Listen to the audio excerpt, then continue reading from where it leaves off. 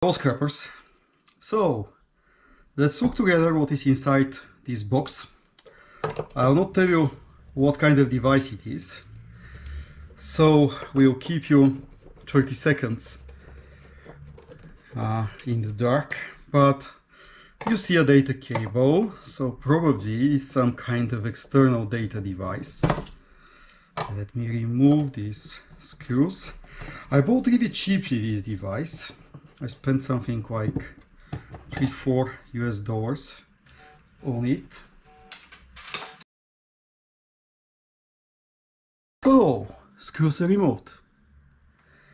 And let's open it. Which direction it is? That's the correct one. Wow, awful noise. But let's check what's inside. It's a beauty.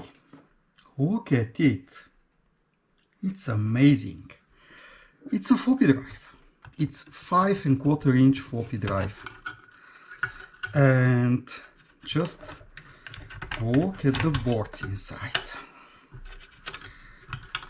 So on this board you have more precious materials than maybe on 510 main boards from modern computers. Just look at the gold plating. It's so yellowish. It's so nice. And what else? You have these brown Bulgarian capacitors.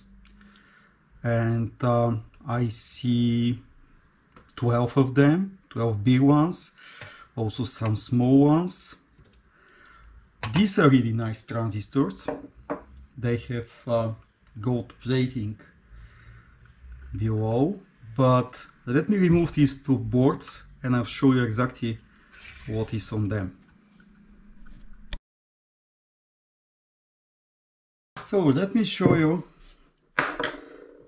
what is in this small board. We have these brown Bulgarian MLCCs. We have some really good chips with gold plating inside and gold wires. And we have this SP514, which is a nice resistor. We have uh, palladium in this element. So this board is really small, but really nice board. Many valuable elements on it.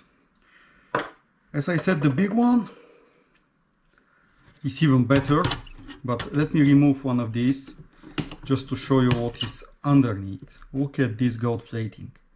And it's on the other side too. So it's really, really nice gold plating in these transistors. And we have four of them here. So I'm really happy with these boards. They're small, but you can find more on these small boards than after a whole day work on modern electronics.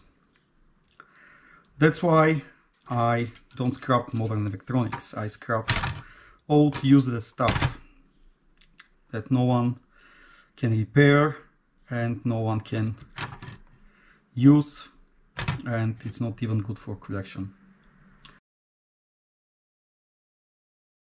Okay, so what we have at the end. I remove the most valuable elements and let's check for example these brown MLCCs it's 5 almost 6 grams 5.76 grams.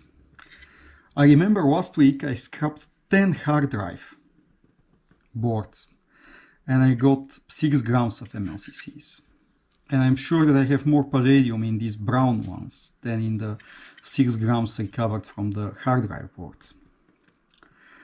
I also removed these four transistors, they're really good, there with thick gold plating. I uh, removed this SP514. This one contains palladium. And I have only three really small blue Bulgarian capacitors. But please look at these black ones. It's written BCO on them. They're plastic, look like plastic, and they're capacitors. These are the so-called black Bulgarian capacitors. These ones are as good as the brown ones. You have a lot of palladium in these black capacitors. So please don't skip them. Don't throw them. These appear to be on many electronics manufactured in East Europe, Bulgaria, Russia, exported. So pay attention if it's written BCO on these black boxes. This is a good quality capacitor. So that's what I usually do. I pick the most valuable stuff and I keep these boards with some gold-plated pins, transistors and chips.